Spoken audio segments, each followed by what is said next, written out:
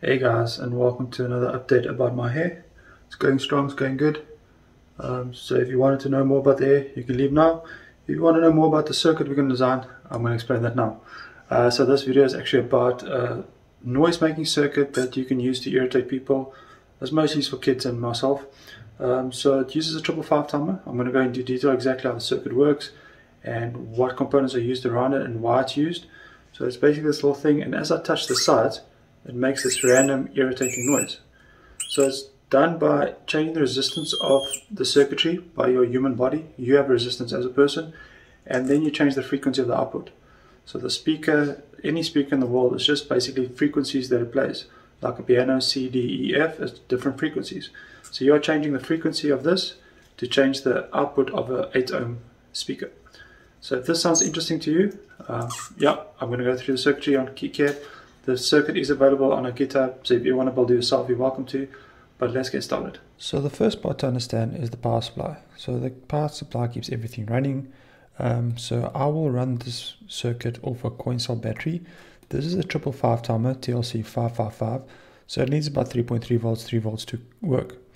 Uh, you do get a TLC 551, which actually runs off a 1.5 volt supply. That means you can actually use a single cell battery um, that you find in remote control or anything to power the circuit. So if you use TLC 551, you can have a lower voltage input for the same circuit. So as you can see, I just have a switch so I can switch it on and off so it doesn't keep making noise 24-7. And then I've got my decoupling capacitor here. Uh, it's very large because there's a ripple in my input voltage when my microphone plays something. So as always, we're going to have the bypass capacitor quite close to our battery. Now let's chat about the heart of the circuit, the triple five timers. So like I mentioned, you can use either use a TLC 555 or a TLC 551, depending on what voltage input you want to have. So what the triple, triple five timer is, is actually basically just a oscillator, which I say, say astable multi-vibrator actually, uh, which is just another way of saying oscillator. Um, so the frequency of this oscillator or triple five timer is set by the two resistors and the capacitor. So depending on these values depends on the frequency of the output. So by changing how quickly this triggers, the so how quickly this goes high, low, high, low, high, low, depends on the type of frequency that my speaker makes. So the speaker will just change in frequency. So depending on the frequency, depending on the noise.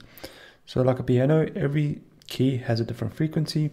And now we're literally changing the frequency on the output to make the certain noise.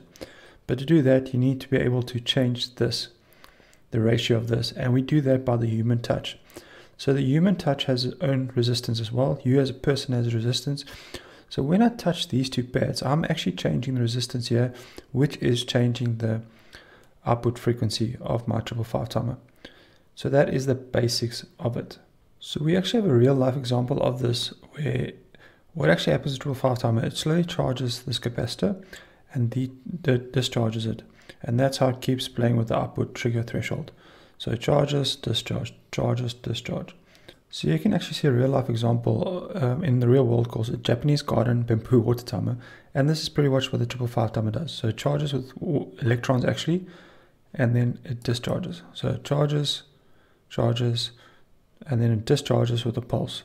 So instead of water, we have electronic flow actually discharge. So as you can see on the top right here, that the frequency is actually calculated by 1.44 divided by C3 times RA plus 2 times RB. So this is my RA R2 and this is my C2 actually. So I took this from the internet, but this my C2 is their C3 and this is RA RB. So by changing these values, I can change the frequency. But like I said, this is constant and then by touching this that changes the resistance of this circuit. Because I can't actually control what my resistance is when I touch it um, it's the noise you make is random. Now because the triple five timer does not give enough power to play music or sound on my speakers we have to have an amplification circuit using transistors.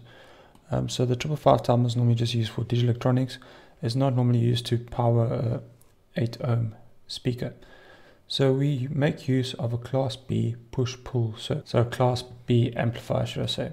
So that just means that each transistor only conducts during one half cycle of the input wave. So there's my input wave.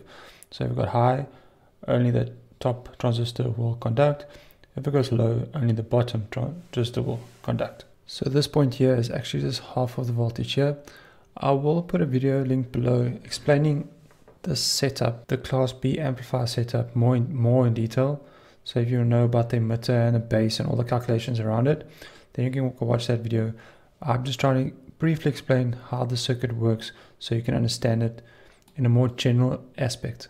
And then once our signal has been amplified by the class B amplifier, then we'll go to our speaker. So this speaker is normally an 8 ohm speaker and you just will solder wires onto the positive and negative and that's the thing that makes the sound.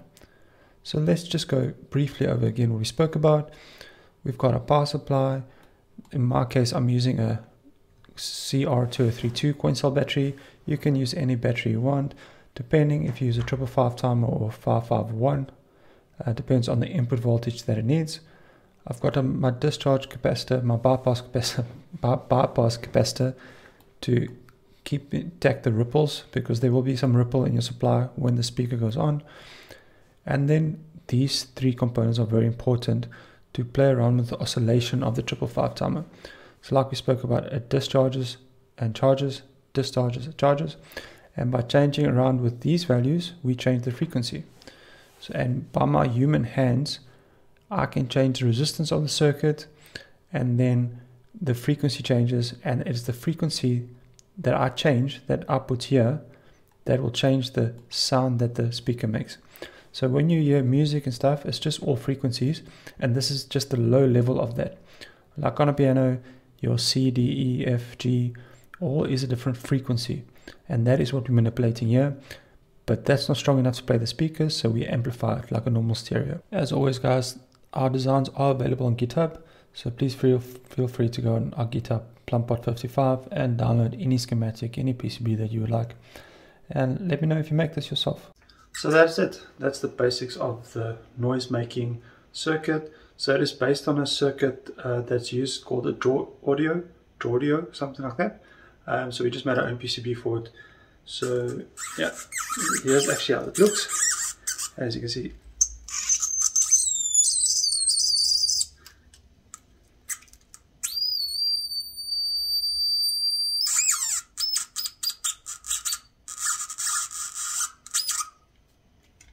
So you can use this little copper tape to extend it or you can just touch the pads at the end here, it will still make noise. So however you want to make a noise, you can make a noise.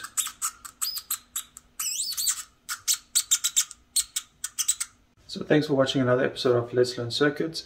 Uh, next week I'm going to go back to the macro keyboard. So my programmer just came, so I was waiting for that, the JST link. Uh, so we're going to carry on with that. Um, so I've got about three weeks left of this here. So tune in every weekend to get an update, to see how it goes, and to learn more about electronics. Until next time, guys. Bye.